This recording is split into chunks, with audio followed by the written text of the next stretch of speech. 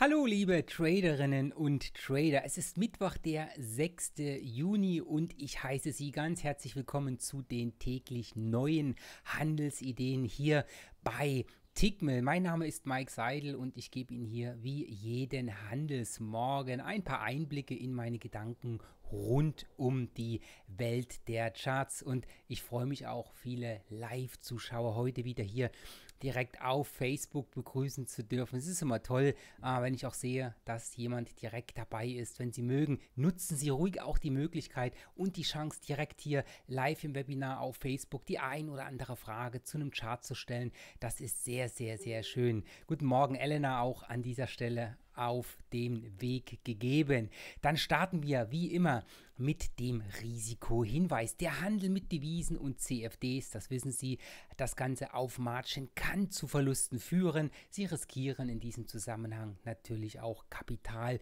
zu verlieren. Zum Thema auch Handel auf Margin, da gibt es ja einige gesetzliche Änderungen mit der ESMA. Da werden wir Sie natürlich auch an dieser Stelle in Kürze informieren. Im Newsletter bekommen Sie als unsere Kunden dann auch noch die Information, wann ich hier das Webinar veranstalte, um Sie rund um die Änderungen im Thema Marginhandel hier zu informieren. Aber genug der Sachen, was in gesetzlicher Seite auf uns zukommt. Viel, viel interessanter ist doch, was wir traden können. Und da passieren an den Märkten momentan wieder sehr, sehr schöne Dinge. Ich hatte es in der Handelsvorbereitung auch geschrieben. Äh, wenn wir mal ins, ins Öl beispielsweise gucken. Öl ist ja jetzt eine ganze Weile gefallen. Ähm, wir haben es im Tageschart gesehen. Wir haben hier untergeordnet sogar einen Abwärtstrend gehabt. Und gestern, gestern war mal so ein Tag nach, nach gut 5% Kursrückgängen in Folge, ähm, wo wir eine ordentliche Umkehrkerze hatten und der Markt reagiert mittlerweile auch positiv auf diese Kursumkehr auch. Das sehen wir auch in der Stunde. Ähm, das ist ein spannender Sektor momentan. Warum? Ganz klar, der Abwärtstrend in der Stunde hier ist erst einmal gebrochen. Das steht erstmal für eine gute Gegenreaktion.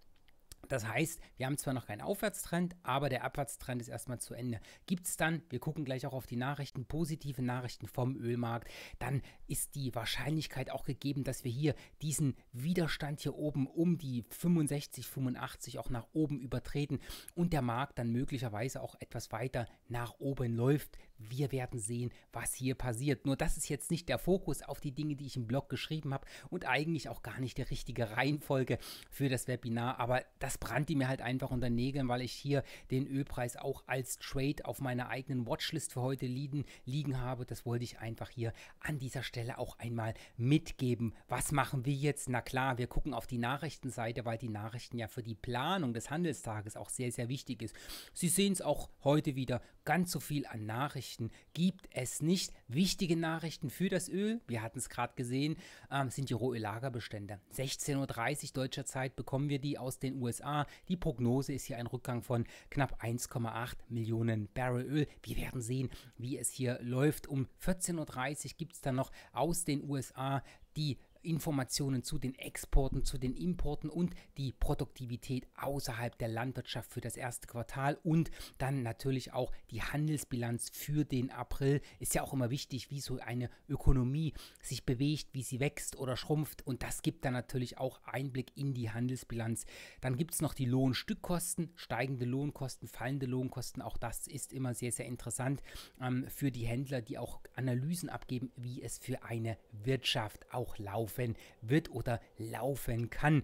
Ähm, und wir haben ja gerade heute Nacht in den Nachrichten auch erfahren, ich glaube irgendwann heute Nacht oder am späten gestrigen Abend kam die Information, dass die Wirtschaft wohl in 2018 weltweit noch ganz gut wächst. Ich habe jetzt auf der Stelle gleich vergessen, ich glaube die Weltbank war es gewesen ähm, die die Prognose abgegeben hat, ähm, wo gesagt wurde, in 2018 Wachstum weltweit 2,8, im nächsten Jahr 2019 dann etwas gebremsteres Wachstum. Wir werden sehen, was es da gibt, aber die großen ähm, wichtigen äh, Einschätzer dieser weltwirtschaftlichen ähm, Situation, die sehen so erste Hinweise darauf, was so die Wirtschaft verlangsamen kann. Das hat auch was mit den Zinsen zu tun. Möglicherweise gibt es dann im Jahr 2019 auch etwas im Zinsbereich hier bei uns in Europa wieder. Das kann dann entsprechend auch auf die, äh, sage ich mal, Kosten drücken, die Kreditkosten steigen äh, in diesem Moment und das kann dann wirtschaftliche ähm, Folgen in gewissem Maße auch haben, wenn das zu viel wird. Wir werden sehen, wir lassen uns überraschen, aber wir haben so die ersten, die ersten, äh, sage ich mal, Stimmen, die da sagen, die Bäume wachsen nicht unbegrenzt in den Himmel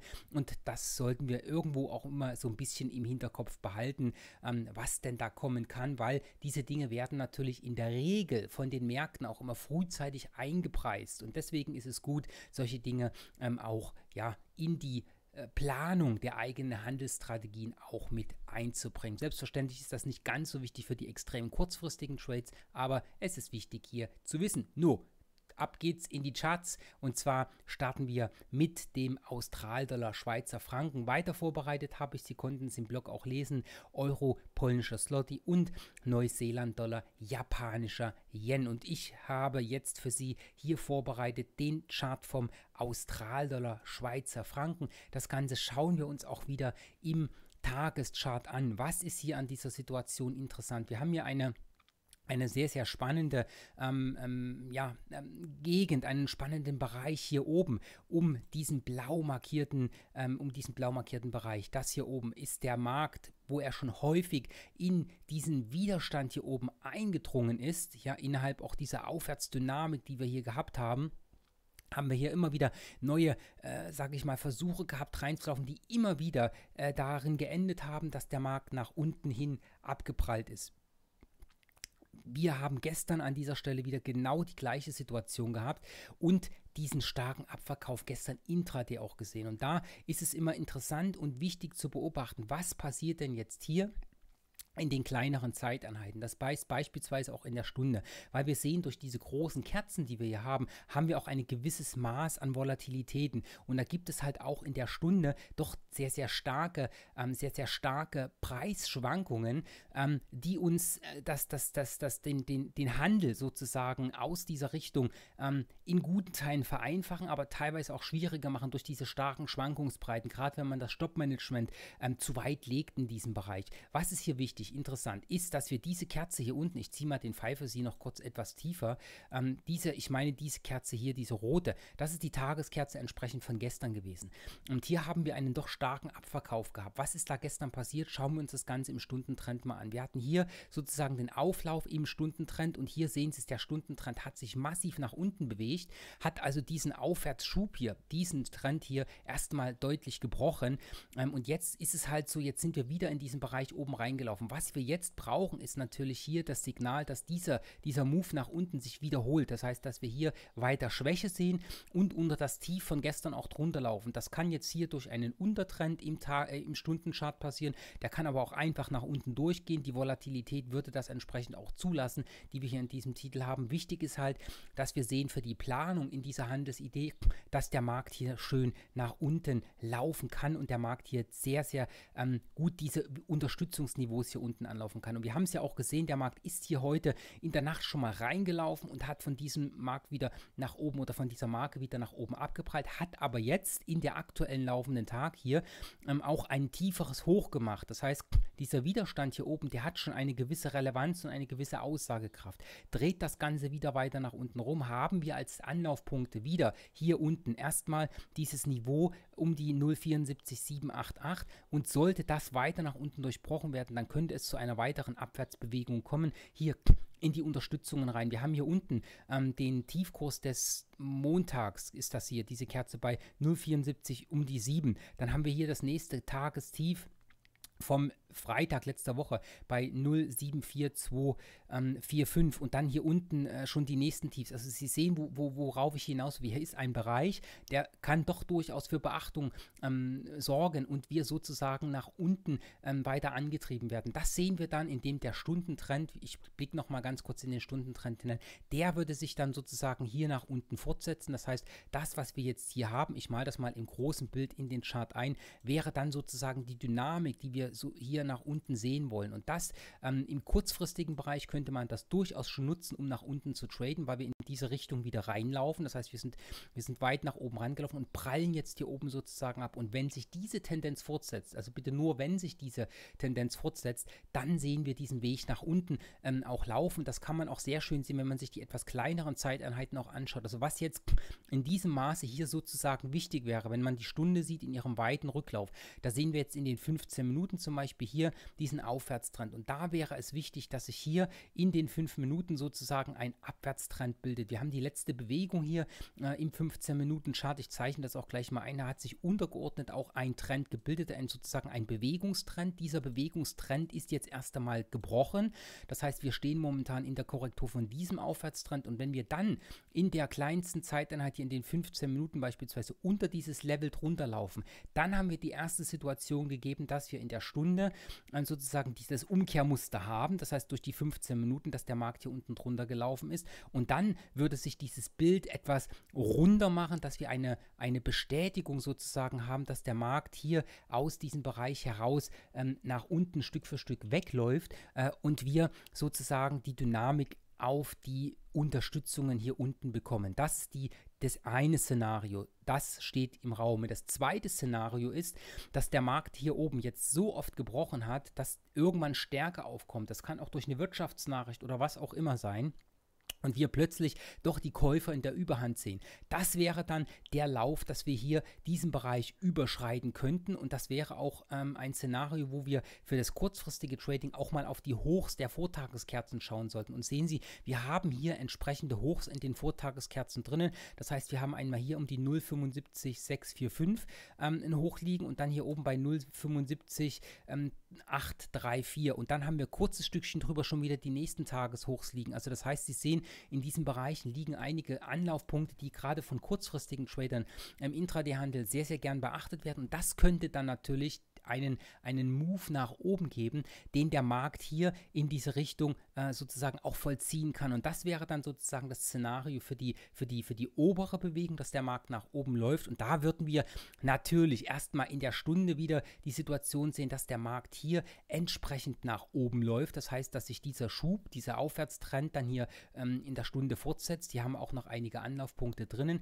Und das wäre dann das Alternativszenario, was an dieser Stelle auch entstehen würde. Ich schaue jetzt gleich mal in den Chat auch rein, ob es Fragen gibt. Ich sehe viele Hallos, ein großes Hallo in die Runde zurück. Freue mich an allen einen schönen guten Morgen ähm, und auch ein schönes Hallo äh, in die Runde. Wie schon gesagt, wenn Sie hier dabei sind und Fragen haben, scheuen Sie sich nicht, stellen Sie die Frage ruhig direkt in den Chat hinein. Ich gucke es mir an, ich gucke regelmäßig rein und dann kann ich den ein oder anderen Wunschmarkt für Sie sehr, sehr, sehr gerne ähm, auch mit besprechen. Ich würde sagen, wir wechseln dann an dieser Stelle nach den beiden Szenarien hier für den Australdollar Schweizer Franken in den nächsten Chart hinein. Und zwar habe ich für Sie angeschaut den Euro-polnischen Slotty. Da ist auch immer einiges an Bewegung drin. Eine Währung, die viele gar nicht so stark auf dem Schirm haben. Ähm, aber nichtsdestotrotz ist es doch eine interessante ähm, Situation, die wir hier haben, auch aus Richtung der Trends. Sie, Sie merken, ich schaue immer wieder auch auf Trends in den Märkten, weil halt extrem viele Handelsszenarien Medien aus Trends herausgehen und aus diesem Grund ist es halt wichtig, dass man diese Trends lesen und beachten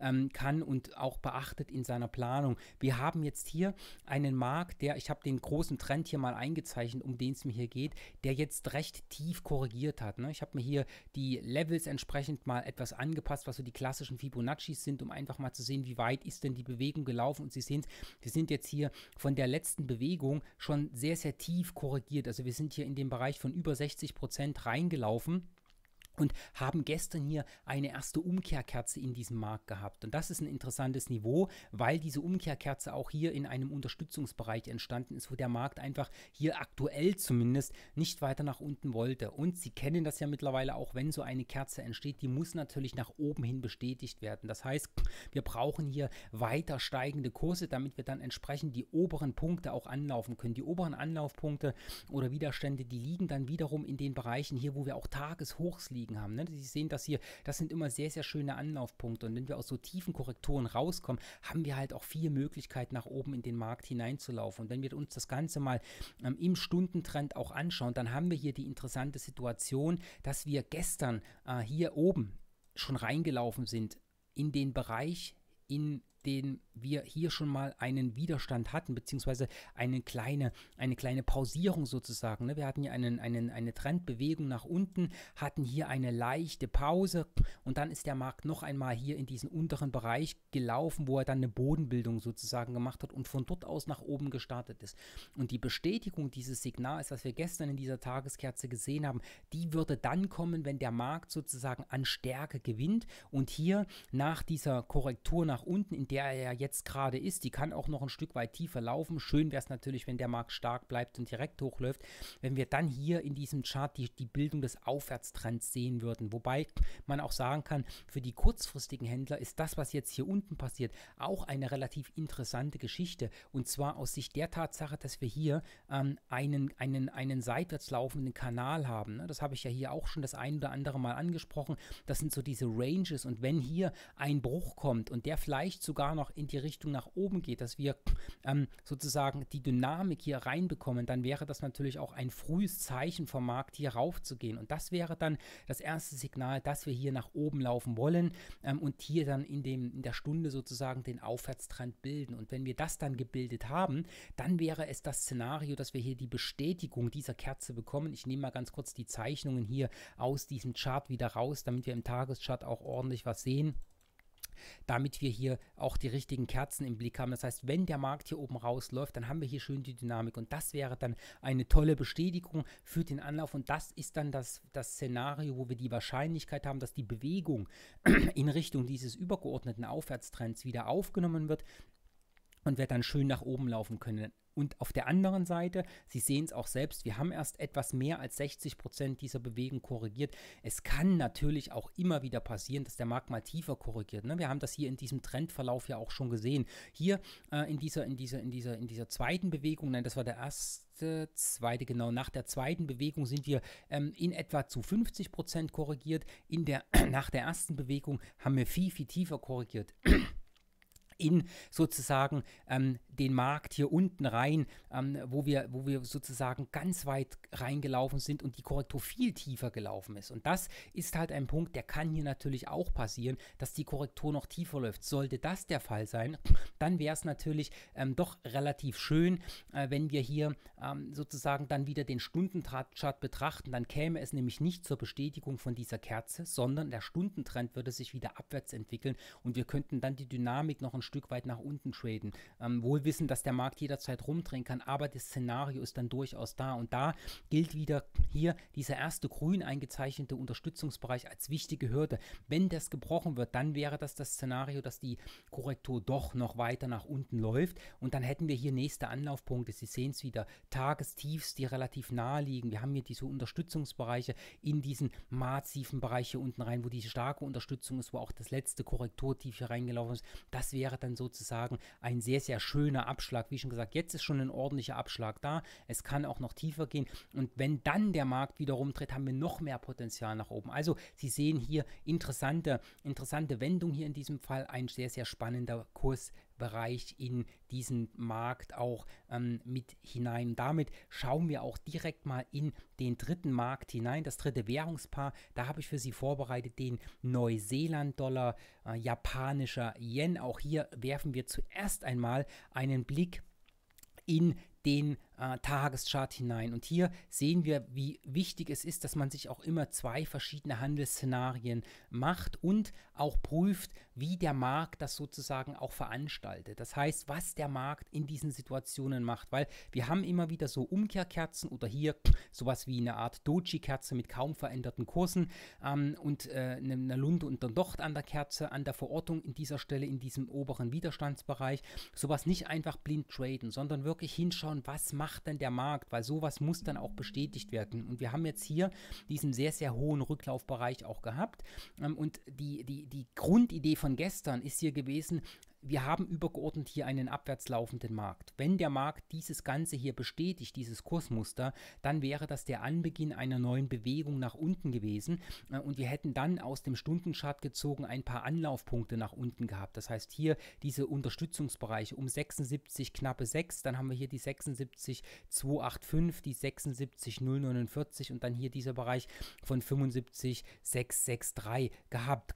Das war gehabt. Sie hören es auch an meinen, an meinen, an meinen Formulierungen. Ähm, Szenario B wäre aber auch immer dann, wenn wir so starke Rückläufe bekommen, kann es auch passieren, dass der Markt sich darauf vorbereitet, den, den, den vorgehenden Trend entsprechend zu brechen. Und das ist das Szenario, was der Markt hier momentan macht, weil wir haben hier oben in diesem Bereich, wo dieser erste Pfeil ist, das habe ich mit Absicht auch so markiert, um die Marke von, wo haben wir das hoch von 77, ähm, 479 in diesem Bereich, ähm, da haben wir ein Hoch gehabt und das ist das Korrekturhoch. Und wenn dieses Korrekturhoch gebrochen wird, dann haben wir hier erstmal einen Markt, der trendlos ist. Und wir haben jetzt eine schöne Dynamik nach oben gehabt, die hier rausgegangen ist. Setzt sich das Ganze fort, dann haben wir natürlich eine komplett neue Ausgangslage in diesem Markt und wir müssen den Markt komplett neu bewerten. Und da macht es jetzt an dieser Stelle Sinn, einfach auch mal in den, in den Stundenchart beispielsweise hineinzuschauen und zu schauen, wie waren denn dort die Trendverläufe. Wo können wir aus den vorangegangenen Märkten auch Szenarien herausfinden, um jetzt in dieser Situation ähm, handels, handlungsfähig auch zu sein? Und da sehen wir halt, wenn der Markt hier rausgelaufen ist in der Stunde über dieses Level, da haben wir in der Vergangenheit dann doch immer wieder Marken, die als Anlaufpunkte gelten können. Und hier könnte die aktuelle Marktstärke durchaus hier, Sie sehen es hier drüben, diese Punkte, ich mache das mal so äh, in diesem Bereich, diese Punkte hier auch anlaufen, äh, wo der Markt dann durch Dynamik nach oben geschoben wird. Also Sie sehen es, wir sehen hier mit Blick in den Stundenchart schon die ein oder andere Marke, in die der Markt dann, wenn er doch nach oben läuft, das heißt, wenn das jetzt hier kein Fehlausbruch gewesen ist, doch sich nach oben entwickeln kann und wir dann entsprechend an dieser Stelle andere Handelsszenarien auch entwerfen können. Deshalb habe ich im Blog auch geschrieben, das Grundszenario, die erste Idee, die mir hier in den Sinn gekommen ist, war tatsächlich die zu sagen, wir haben eine Umkehrkerze. Wenn diese Umkehrkerze bestätigt wird, dann haben wir hier im Sinne des Trendhandels den Start der neuen Bewegung mit den Anlaufpunkten auf der Unterseite und dann wenigstens mal den Anlauf hier unten, wenn dieser Trend sich fortsetzt setzen möchte, über, unter diese Tiefs, die wir hier unten hatten. Aber deswegen auch der Widerstandsbereich hier oben. Der Widerstandsbereich ist wichtig und für uns auch zu beachten, weil wenn der Markt hier drüber geht, dann müssen wir den Markt neu bewerten. Dann ist der alte Trend weg und das bringt uns dann in die Situation hier auch mit weiter nachzudenken. Also das ansprechend hier zu diesem Titel und dann schaue ich gleich nochmal in den Chat hinein, ob wir Fragen dazu haben. Ah, ich bekomme die Frage auch, wie geht es mir? Ja, sehr, sehr gut. Die Märkte laufen momentan richtig schön. Ähm, für mich, äh, das Trading macht Spaß. Wir haben Dynamik drin, wir haben Bewegung drinnen. Ähm, dann haben wir hier draußen auch noch schönes Wetter. Schönes Wetter ist immer gut für die Stimmung. Also alles bestens. Ich hoffe auch, Ihnen geht es wunderbar.